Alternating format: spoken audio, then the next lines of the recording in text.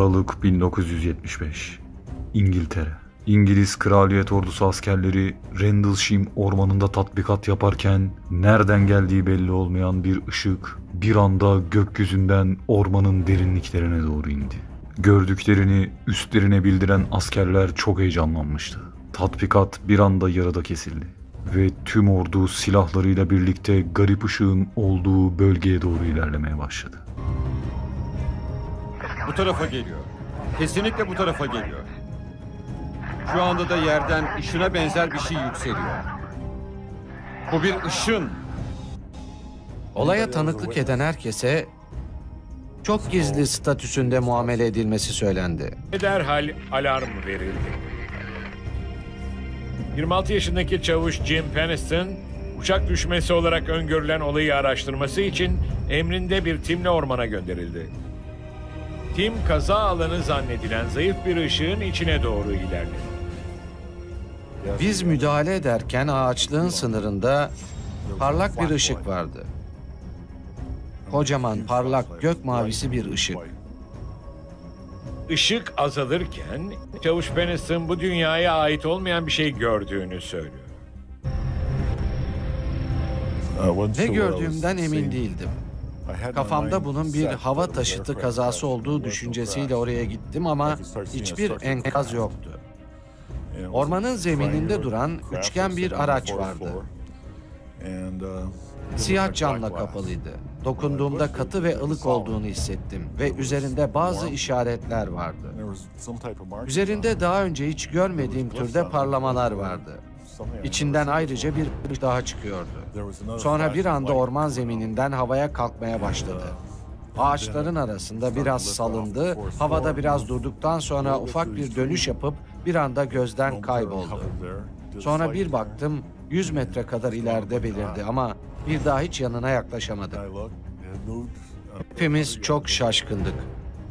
Ne olduğunu hiçbirimiz anlayamamıştık. Yaşanan bu olaya koskoca bir ordu tanık olmuştu. Fakat kimse gördüklerinin ne olduğunu tarif edemiyordu. Çok geçmeden Amerikan bilim insanlarından sıra dışı bir açıklama geldi.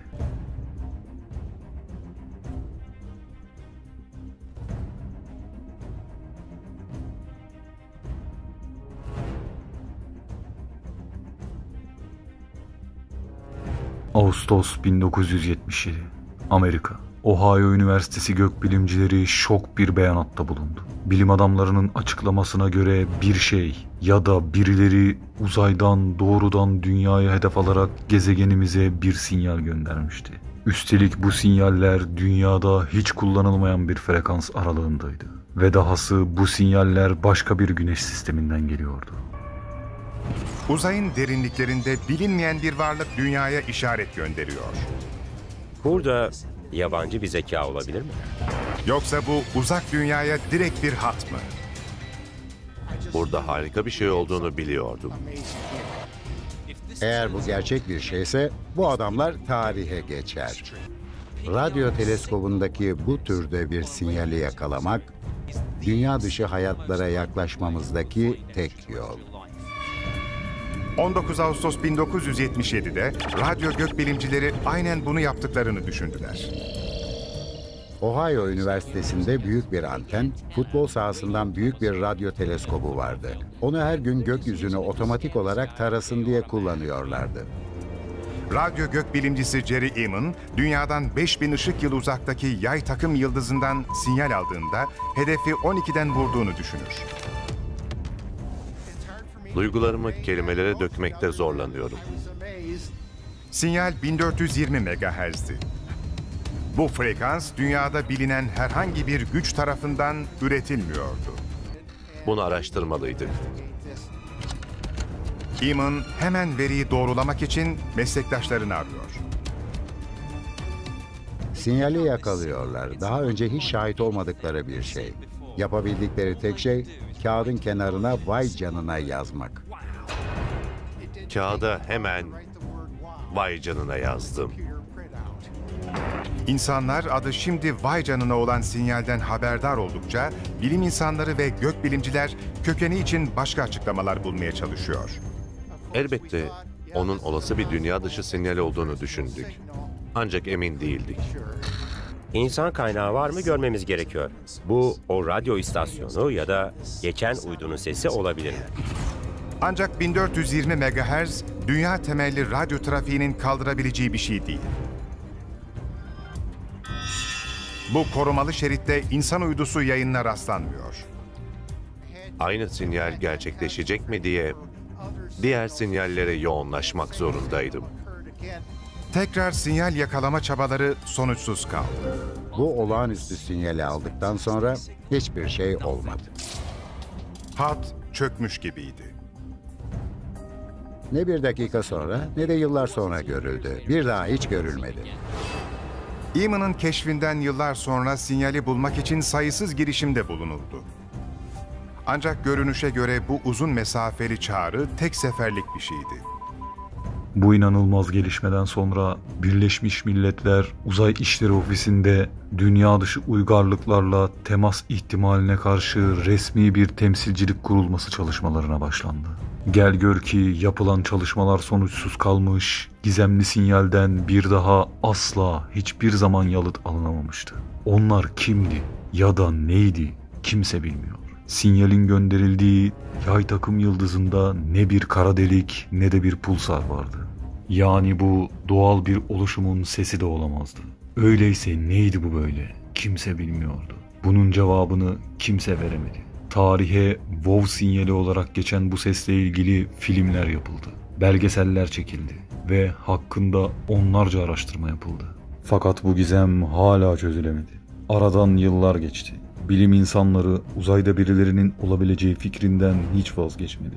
Fakat yine de hiçbir sonuç elde edilemedi. Olayın üzerinden yıllar geçmesine rağmen bu olayla ilgili hiçbir gariplik bulunamadı.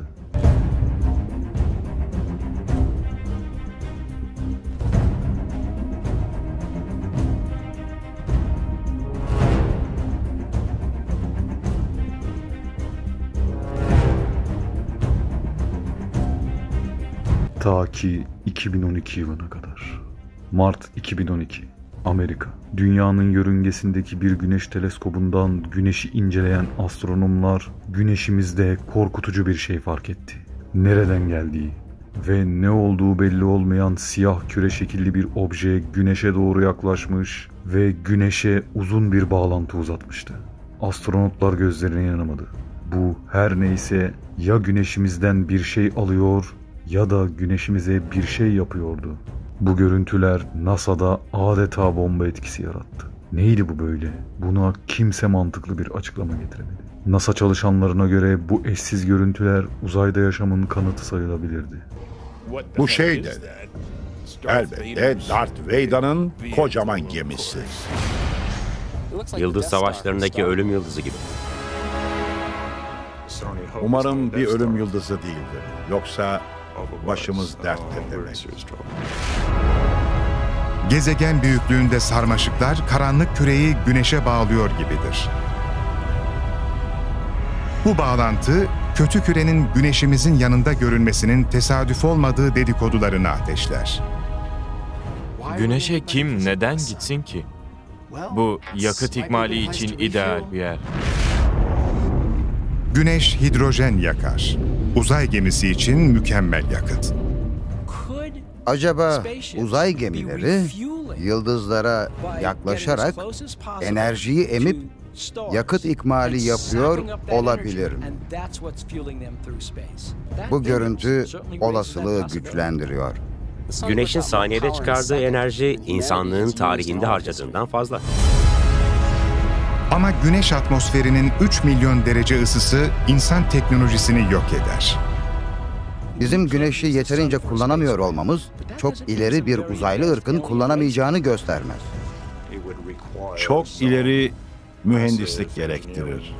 Uzay gemisinin buharlaşmasını istemezsiniz. Bir yıldıza yaklaşıp yakıt alabilen bir ölüm yıldızı yapabilmenin mümkün olduğunu düşünmek delilik değil. Bütün gereken sıcaklığı kontrol edebilmek. Belli ki uzaylı bir medeniyet bir tür gemiyle güneşimizden termonükleer yakıt takviyesi yapmıştı. Bu akıl almaz bir şeydi. Fakat NASA her şeye rağmen temkinliydi. Olayı bir bilim kurguya çevirmek istemiyordu. Sonunda NASA'dan bir açıklama geldi. NASA bunun bir tür güneş patlaması olabileceğini ve görüntülerin o anki açıdan dolayı o şekilde görünmüş olabileceğini söyledi.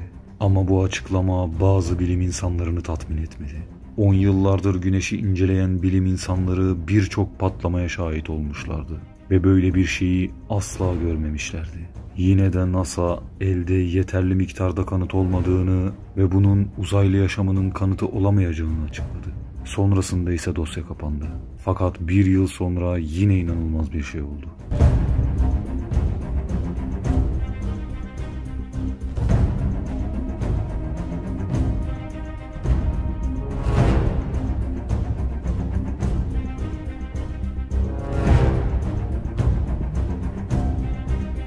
Şubat 2013 Güney Rusya 15 Şubat 2013 yılında bir sanayi şehri olan Rusya'nın Chelyabinsk eyaletinde gün normal bir şekilde başlamıştı.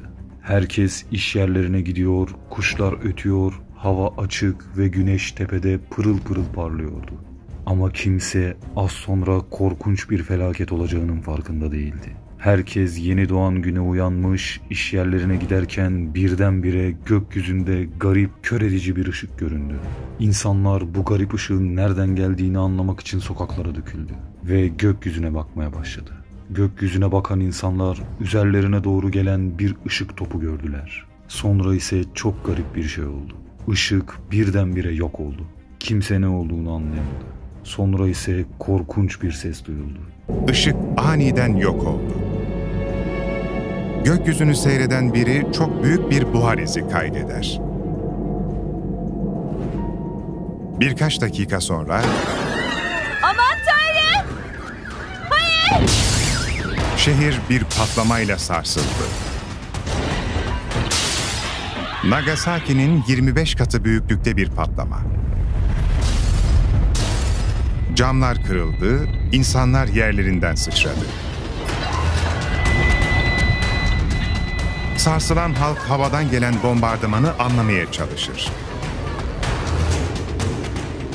İnternette Rusya'ya düşman saldırısı olduğu dedikoduları yayılmaya başlar.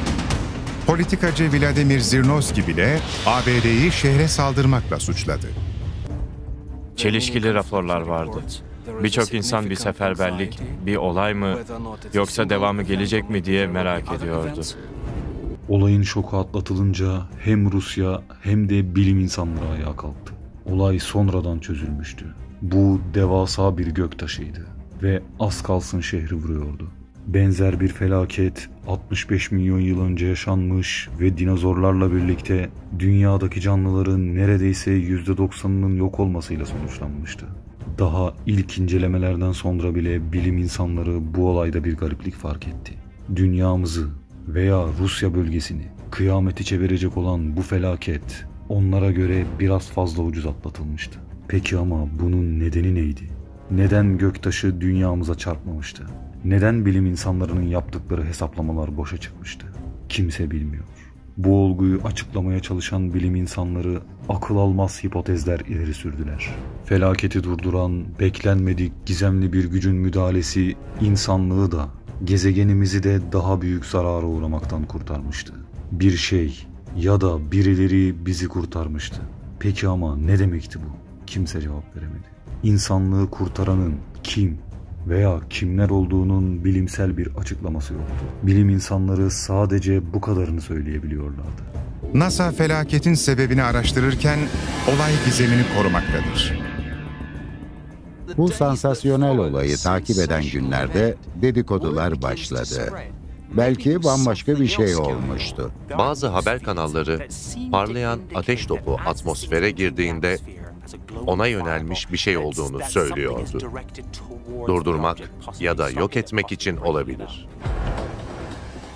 İnsanlar bir şey ona doğru yaklaştı ve galiba vurdu diyorlardı. Fark ettim ki cisme yönelmiş bir şey vardı. Belki de bu nedenle patladı. Soğuk savaş yeniden mi alevlendi? Çelyabinsk meteorunda ilk gözlemlenen şey görsel efekt. Geliyor ve parçalanıyor. Bir ses duymuyoruz. Çünkü ışık çok daha hızlı hareket ediyor. Anında görebiliyoruz. Ama biz ona bakarken ses hızındaki şok dalgasının bize doğru hareket ettiğinin farkında değiliz. Cama çok sert vurulan bir yumruğa benziyor. Şehirdeki bütün camlara aynı anda vuruyor.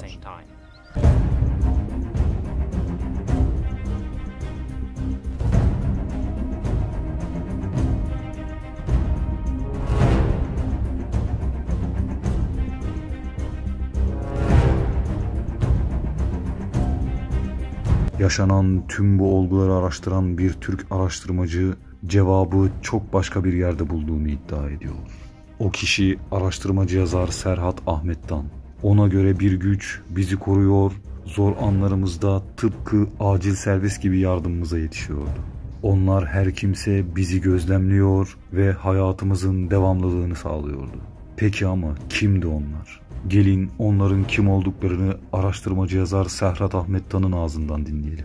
Hamza, şimdi konuşacağımız konu galaktik konsey, galaktik savaş var mı yok mu? Şimdi bu galaktik savaşla ilgili bak ben bir aç- açılım yapayım. Şimdi Sad suresinde benim esas dikkatimi çeken şey şu.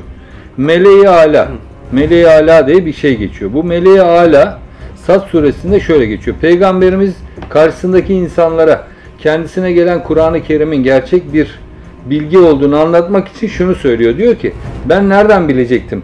Meleği aladakilerin birbirlerine husumet besleyerek tartışma yaptıklarını ben nereden bilecektim? Bana bu Kur'an-ı Kerim'de bildirilmeseydi.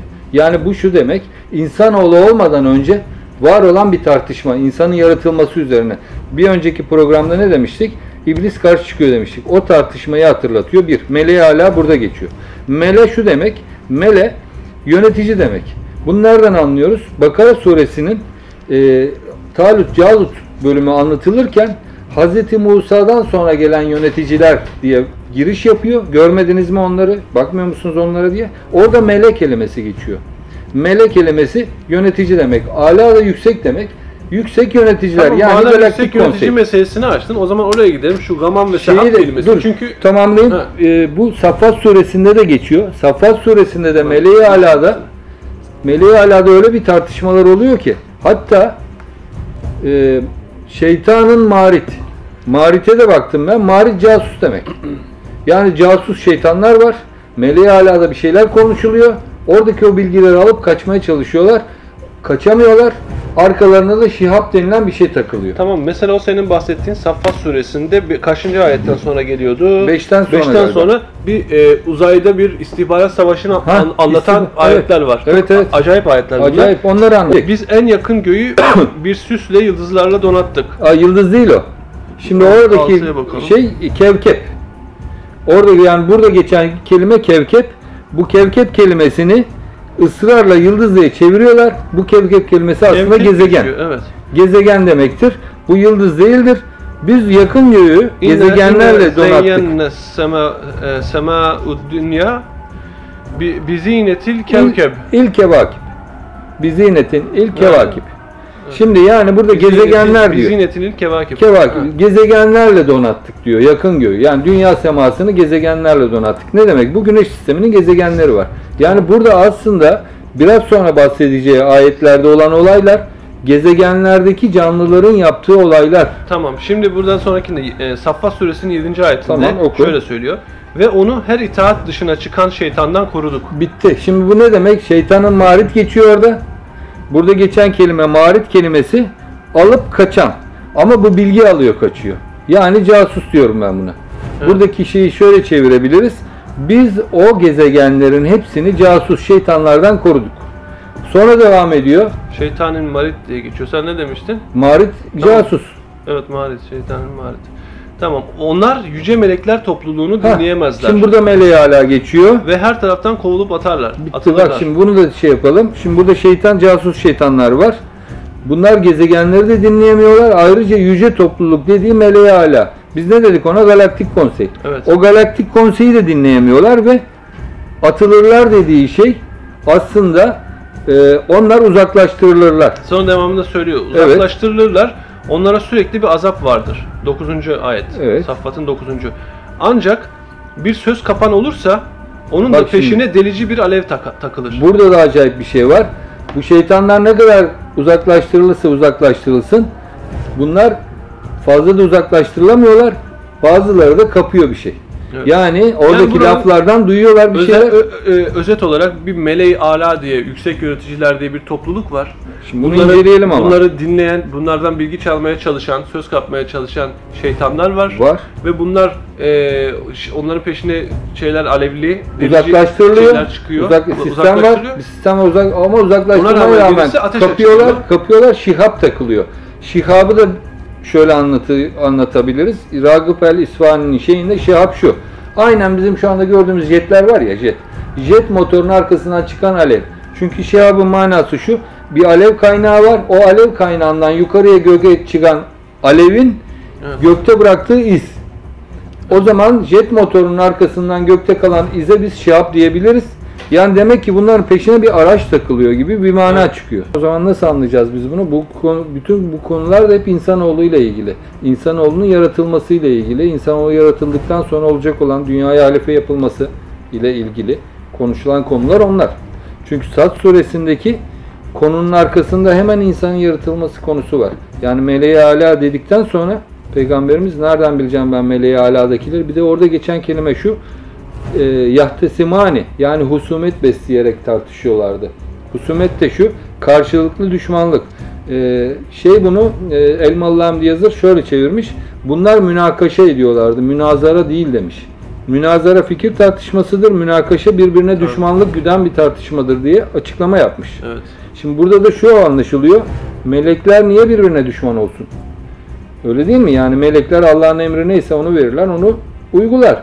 Ne bir fazla ne bir eksik. Ama burada fikir yürütüyorlar, birbirleriyle tartışıyorlar ve birbirlerine düşmanlık besliyorlar. Evet. Çok acayip bir tasarım çıkıyor. Şimdi şöyle söyleyeyim ben, şu konuyu şöyle açayım. Şimdi burada meleği ala varsa, zaten eğer bir e, kişi bir yerden bir bilgiyi almaya çalışıyorsa, burada şu var demektir. Bu nedensellik içinde bir durumdur. Yani bunlar yaratılmış varlıklar demektir. Yani bu şeytan dediği şey zaten biliyoruz ki yaratılan bir varlık. Bunlar bir yerden bir bilgi alıp onu öğrenip oradan kendisine göre bir plan yapmak üzere. Çünkü casusluk niye yapılsın?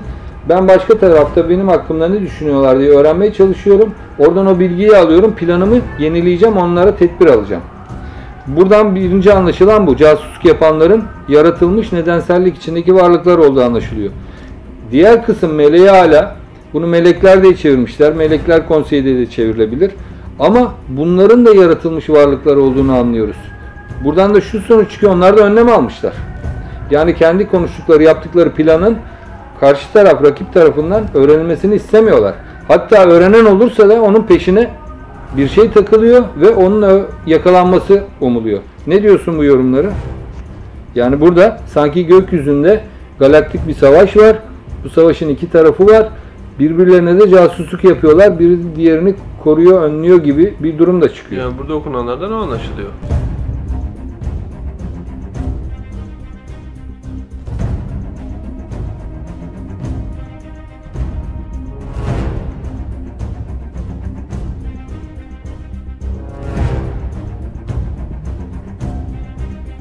Serhat Ahmet'tan bu konuyu en derinlemesine araştıran araştırmacılardan biridir. Galaktik Konsey isimli bir kitabı var. Bu teoriyi aslında kendisi bulmadı. Bu zaten çok daha öncelerinden beri kaynağı belli olmayan kadim bir bilgiydi. Bu teorinin temel felsefesi şudur. Evrende ışıktan, ateşten ve birçok farklı formdan oluşan kanlı canlı varlıklar var. Tıpkı bizim gibi ruhları olan, tıpkı bizim gibi seçim hakları olan fakat birileriyle sürekli savaş halinde olan varlıklar. İyi ve kötünün savaşı metaforu da işte bu teoriden gelmektedir. Ama Serhat Ahmet'tan kutsal kitabımızdan bulduğu dayanaklarla bu teoriyi bambaşka bir yöne doğru evrimleştirmiştir. Bu teori aslında ilk bakışta çılgınlık ya da bir bilim kurgu fantazisi gibi gözükse de tamamen matematiksel temellere dayanıyor. Dünyaca ünlü fizikçi Stephen Hawking sonsuz sayıda eşsiz evrenler var ve bu evrenlerde yaşayan sonsuz sayıda canlı olması muhtemel. Yaptığımız tüm hesaplamalar bize bu sonucu gösteriyor demiştir. Evet ama tüm bunlar gerçekse bizlerin en çok merak ettiği soru şu. Evrende böyle gelişmiş bir federasyon ve böyle gelişmiş bir uygarlıklar varsa, bizi gerçekten de koruyup gözetliyorlarsa, neden insanlarla açıkça temasa geçmiyorlar? Varlıklarını daha açık bir şekilde ortaya koymuyorlar. Belki de bu sorunun cevabı sandığımızdan daha basittir. Onlara göre biz hala birbirine saldıran, hatta yaşadığı ortama bile zarar veren vahşi ve ilkel bir türüz. Ancak ya evrensel denge mekanizmalarından ya da bilmediğimiz çok başka nedenlerden dolayı korunmamız gerekiyor. Onların bizlerden herhangi biriyle veya herhangi bir ülkeyle temasa geçmeleri halinde yapacağımız ilk şey şudur. Bu teması diğer ülkelerden gizli tutmaya çalışmak ve yine herkesten önde olup o üstün uzaylı teknolojisini diğer devletleri tehdit etmek için kullanmak. Onlara üstünlük kurmak ve onları sömürgeleştirmek için kullanmak. İşte onlar da bunları bildikleri için bizi sürekli olarak uzaktan izliyor, korunması gereken ilkel ve vahşi bir tür gibi görüyorlardır belki de. Belki de sadece gerekli manevi düzeye ulaşmamızı bekliyorlardır. Eğer böyle bir şey varsa, biz de o seviyelere ulaşıp, o medeniyetlerden biri olup, o konseylerde yerimiz olsun istiyorsak, öncelikle şunu anlamamız gerekiyor. Bilgi veya bilim yalnızca iyilik, sevgi ve güzellikle harmanlanırsa insanlığın pozitif yönde ve daha hızlı gelişmesine olanak sağlayabilir. Kötülük, nefret ve hükmetme hırsı ise er ya da geç dünyayı küresel felaketlerle, insanlığı ve tüm canlı örtüsünü yok olma tehlikesiyle karşı karşıya bırakacaktır. Tüm bunları başarmak ise sadece bize bağlıdır.